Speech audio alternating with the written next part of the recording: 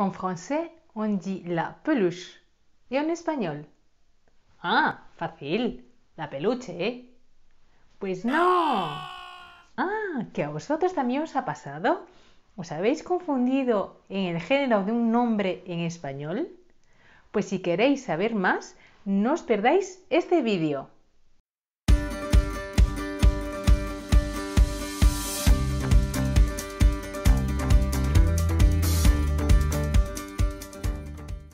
Bonjour les étudiants, bienvenue sur cette nouvelle vidéo. Aujourd'hui, on va parler sur la différence des genres entre les mots espagnols et les mots français.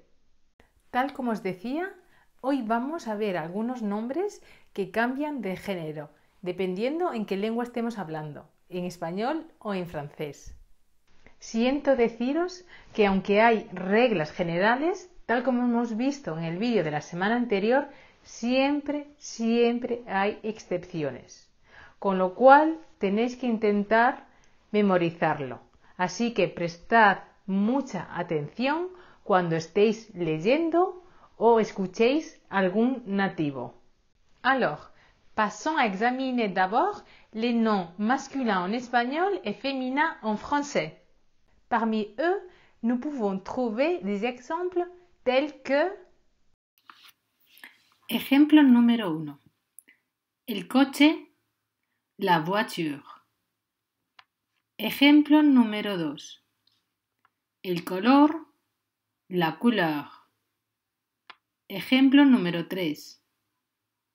El diente, la dent.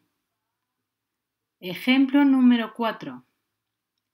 El fin, la fin.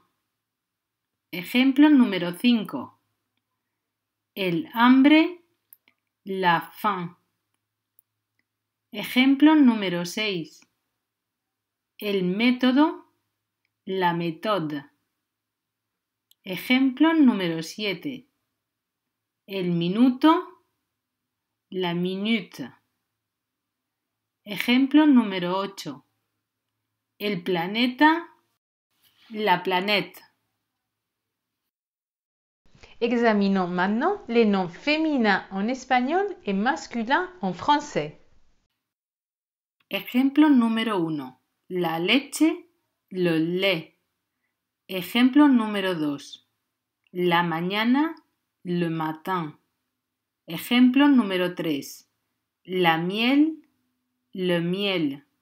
Ejemplo número 4. La sal, le sel. Ejemplo número 5. La felicidad, le bonheur. Ejemplo número 6. La cama, le lit. Ejemplo número 7. La duda, le doute. Ejemplo número 8. La espalda, le dos. Bueno chicos, y esto ha sido todo por hoy.